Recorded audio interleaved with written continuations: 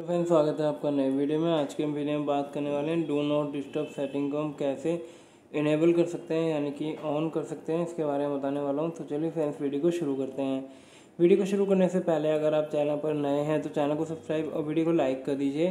Friends, जैसे कि आप देख सकते हैं, मेरे पास ये रेडमी का फ़ोन है और आपको सबसे पहले क्या करना है सेटिंग पर क्लिक करना है। तो क्लिक कर लेंगे।